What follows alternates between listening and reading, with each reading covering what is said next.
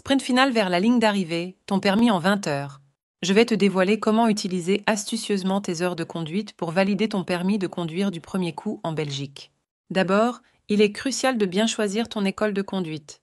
Toutes ne se valent pas et certaines ont des programmes intensifs spécialement conçus pour te préparer efficacement en un temps record. En optant pour une formation avec un moniteur professionnel, tu pourras apprendre les techniques de conduite de manière rapide et efficace.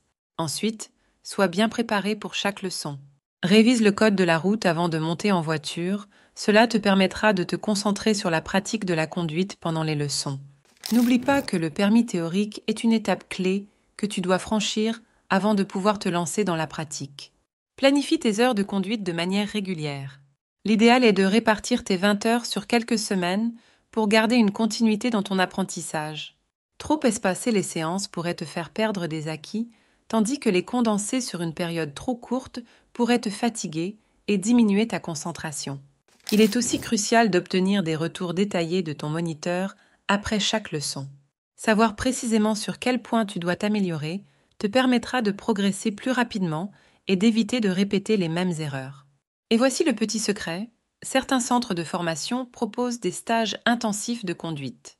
En t'inscrivant à l'un de ces stages, tu pourras bénéficier d'un programme structuré et intensif, souvent accompagné d'un passage de l'examen pratique en fin de stage.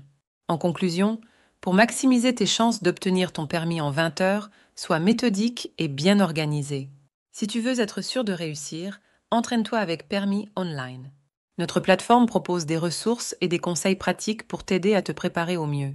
N'attends plus et commence dès aujourd'hui.